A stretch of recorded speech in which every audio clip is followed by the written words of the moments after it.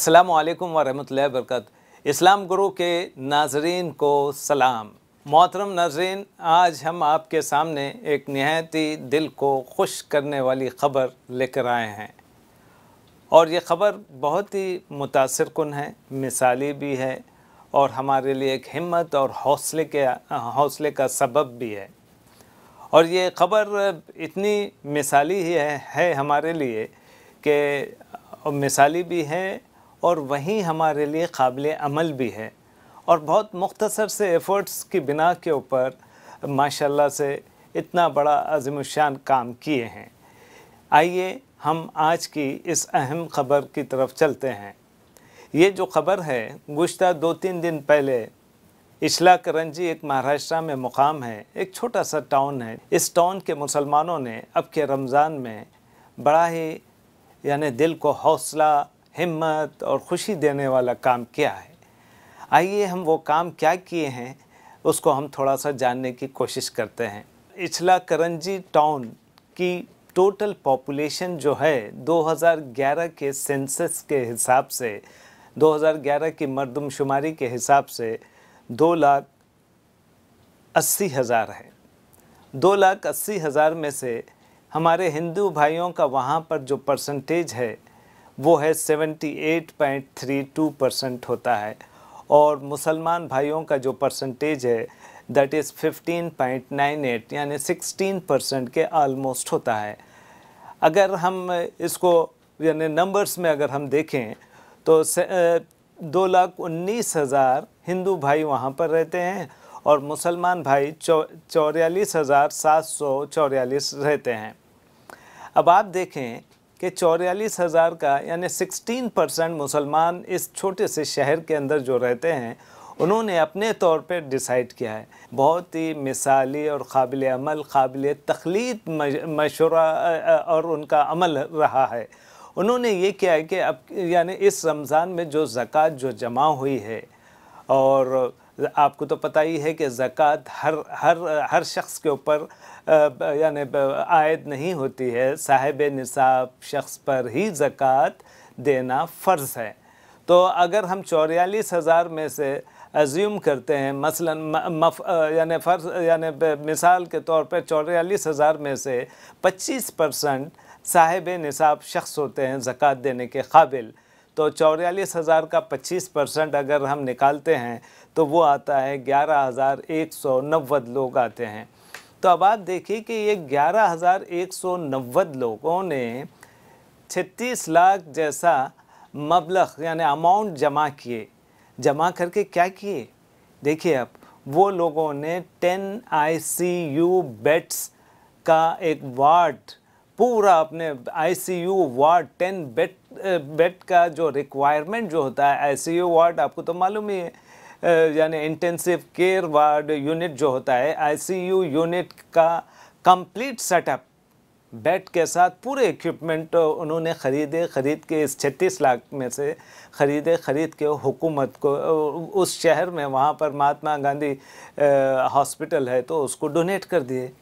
तो अब आप देखिए, यानी एक छोटे से शहर के लोगों ने कितना अजीम काम किया, इंसानियत की फ़लाह और बहबूद के लिए काम किया और जब ये इसका अफ्ताह दो दिन पहले, यानी सत्ताईस मई के दिन वहाँ के महाराष्ट्र के जो चीफ़ मिनिस्टर है, उदय ठाकरे ने इसका अफ्ताह किया, ऑनलाइन अफ्ताह किया, और उन्होंने नहायत ही गर्म जोशी से बहुत ही पुरतपाक थालियों की गूंज में, यानी इस बात का ऐलान किया कि हमारे मुस्लिम भाइयों ने हमारा दिल जीत लिया, और त्यौहार को किस तरह से मनाना, हम सबको सिखाया यानी कितनी बड़ी बात बता बताई यानी वहाँ के चीफ मिनिस्टर ने वहाँ के मुसलमानों का दिल खुश खुश भी कर दिया और पिजीराई भी की, उनको इनक्रेज भी किया कि भाई हमारे मुस्लिम भाइयों ने इस त्यौहार के और ज़क़़त का जैसा यानी अमाउंट अमाउंट जमा किए, जमा करके इंसानियत की फ़लाह और बहबूद के लिए इस्तेमाल किया।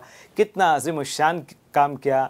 देखें, जो भी हम काम करते हैं इंसानियत की फलाह और बहबूद के लिए, इस दुनिया में भी पिजीराई होती है, उसको अप्रिसिएशन मिलेगा और आखिरत में तो यकीनन अल्लाह रब्बुल इज़्ज़त बहुत ही ख़दरदा हैं।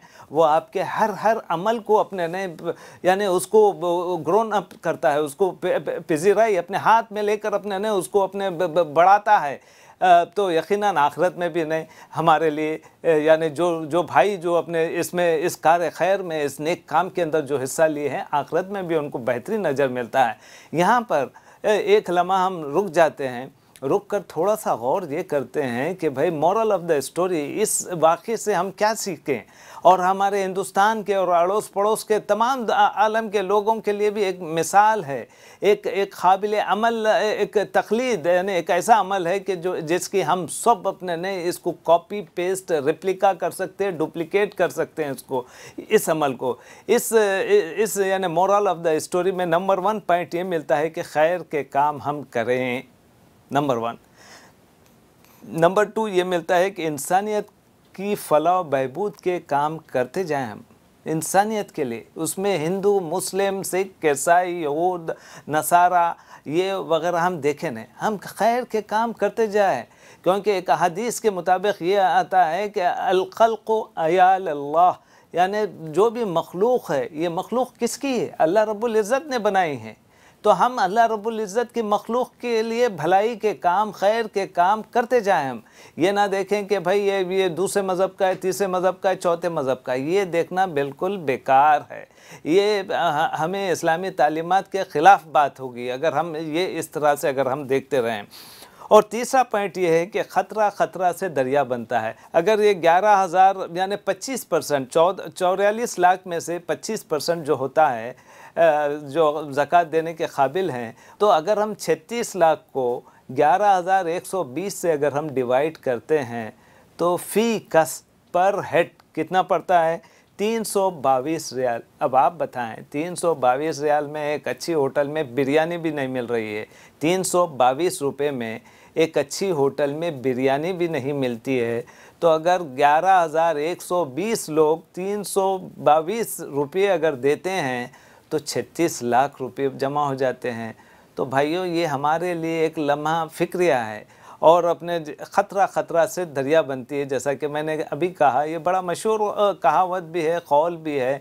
अगर तीन सौ रुपये भी अगर हम दें, ग्यारह हज़ार एक सौ बीस लोग अगर दें तो देखिए आप, छत्तीस लाख रुपए जमा हो जाते हैं और छत्तीस लाख में दस, यानी बेड का, well equipped fully fully equipped यानी वार्ड आईसीयू का वार्ड यानी हर हर आम दवाखानों में नहीं होता, जो स्टैंडर्ड किस्म के दवाखाने होते हैं, दस आईसीयू बेड मीन्स यानी इट्स ए बिग यानी बिग यानी नंबर्स ठीक है? फिर यानी पांचवा पॉइंट ये है कि ऐसी मिसालें सारे हिंदुस्तान में और हर जगह होनी चाहिए। फिर छठा पॉइंट ये कि जब तक हम देने वाले थे यानी तारीख़ में जब आप यानी तारीख़ का मुताला करें तो मुसलमान कौम जब तक कंट्रीब्यूट कर रही थी, वो दुनिया पर गालिब थी, हुक्मरानी कर रही थी। जब से हम बखालत बकील बन गए, न, देने वाले नहीं बन गए, मैं और मेरे बीवी बच्चे यही फार्मूले के ऊपर रहे तो हम ज़िल्लत और रसवाई और नकबत हमारे ऊपर तारी हो गई। तो आइए, ये ज़िल्लत, रसवाई और ये सब चीज़ों से हम अगर बचना चाहते हैं तो हम देने वाले बने। और देने से माल आपका कम नहीं होता है, माल आपका ज़्यादा ही ज़्यादा होता है। अल्लाह रब्बुल इज़्ज़त जो भी माल अल्लाह की राह में जब आप देते हैं तो कहता है कि भाई हम हम अपने ने तुम्हारे को ऐसे ऐसे ज़राए से अपने ने आपके माल में इजाफ़ा करेंगे कि जो आपके वहम गुमान में नहीं होगा। तो आप देने वाले बने। ये देने वाले बनने की मिसाल पे मिसाल कायम करते जाए हम। और फिर आखिरी बात यह है कि हम खैर के कामों में हिस्सा लेना शुरू कर दें हम। ऐसे इनोवेटिव क्रिएटिव आइडियाज़ को हम लेकर आएँ और इसको माशरे में नफूस करें। और जब आप इस कस्म के खैर के काम करने वाले बनेंगे तो यकीनन हमारे दूसरे भाई जो है, हिंदू भाई हो, चाहे क्रिश्चियन भाई हो, चाहे कोई भी हो, हमारे नॉन मुस्लिम्स ब्रदर्स जो भी हो हमारे, वो लोग भी आपके इन कामों को यानी अल्लाह रब्बुल इज़्ज़त उनके दिलों में आपके इन कामों की कदर, कीमत भी अपने लगा देगा और इज़्ज़त के बास होगा, वो आपकी नहीं, इज़्ज़त करेंगे। हाँ ये सब अल्लाह की तरफ़ से होगा। तो अगर आप चाहते हैं कि आप इस मुल्क में सुकून से रहें, खैर से रहें, इज़्ज़त के साथ रहें तो खैर के कामों को आप ज़्यादा से ज़्यादा करते जाएँ, उसमें मज़हब ना देखें उसमें ये देखें कि ये अल्लाह रब्बुल इज़्ज़त की मखलूक है। मैं अल्लाह रब्बुल इज़्ज़त की मखलूक की खिदमत कर रहा हूँ। तो भाइयों, मैं इन्हीं बातों के साथ आपसे ये गुजारिश करता हूँ कि हम इन खैर के कामों को ज़्यादा से ज़्यादा करने वाले बने और ये मिसाल को आम से आम करें। इस वीडियो को ज़्यादा से ज़्यादा लोगों तक फैलाएँ ताकि ज़क़़त जैसी अहम मद में जो जमा किए हुए, ज़क़़त जैसे हेड ऑफ़ अकाउंट में जो आपने जमा किया है, उसका कितना बेहतरीन मसरफ, यानी ये किए हैं। और यकीन ये ये बात को, और इस वीडियो को आप ज़्यादा से ज़्यादा लोगों तक फैला